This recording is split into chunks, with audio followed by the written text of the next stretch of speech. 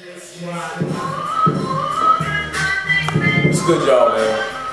For uh, those of you that uh, posted up the video of uh, entitled Bigg Phanatik Mike Chez, even though that looked nothing remotely close to Chez, I appreciate the support because that footage just helped me get put on, so thank you.